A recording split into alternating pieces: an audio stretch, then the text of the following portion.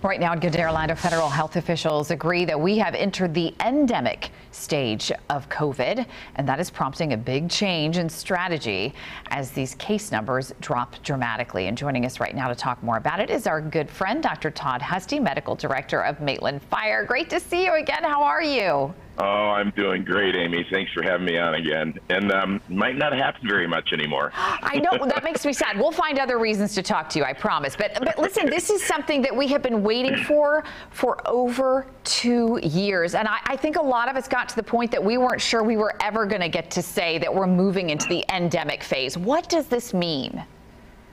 Well, and maybe we should define pandemic phase. That's when you have exponential growth. That means it's growing, doubling, and then redoubling, and then redoubling. And we all saw that. I mean, that's what happens when the entire world does not have any immunity to a brand new virus, respiratory virus especially. So it's just going to grow like crazy.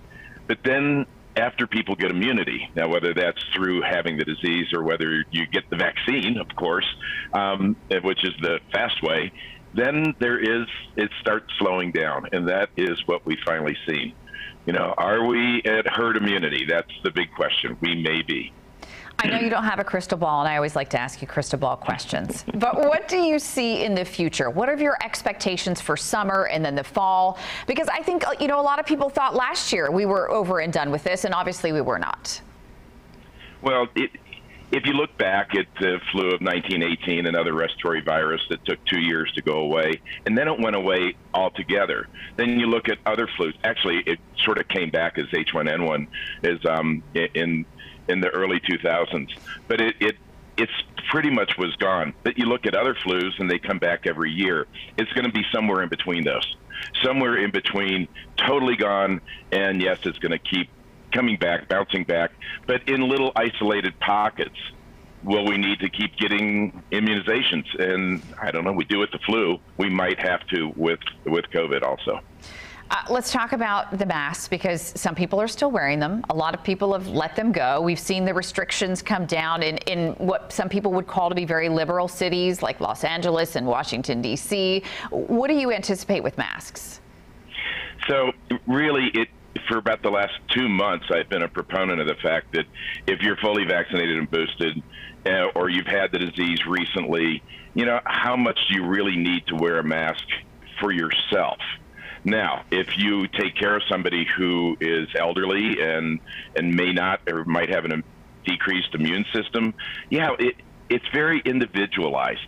So if you see people wearing a mask, maybe they have a good reason. Don't look funny at them. I mean, they might have a very good reason to be wearing a mask. Personally, although I'm older and I'm older over uh, 65, I don't have a lot of risk factors, and I'm I'm boosted so I'm not going to wear a mask anymore. But that's my own personal decision. Think about it. Uh, Doc, what do you think about, you know, mass transportation, airplanes? I've heard a lot of people say, look, I probably will wear a mask on an airplane the rest of my life. I mean, helpful, not helpful? What do you think?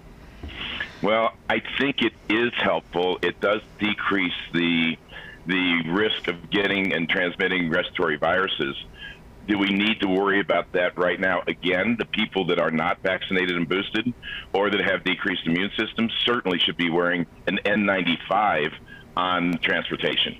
But the rest of us, I think it's about time to drop it. Um, I'm in Colorado right now. I'm going to be getting on an airplane, and if I have to, I'll wear my mask if they say so. But I'm not sure that it's necessary anymore. All right. It's great, uh, great interview, great advice. Thanks for joining us from Colorado, Doc. We hope you have it's a safe trip home. Did you get to ski? Did you do anything fun while you were there? Oh, oh, yeah, I ski all the time, and it's it's zero degrees. I watched the weather report about how hot it was going to be. It's zero here right now. oh my gosh. Well, we will heat you up quickly once you get back to Florida. Great to see you, Dr. Husty. Thanks so much. Thanks a lot.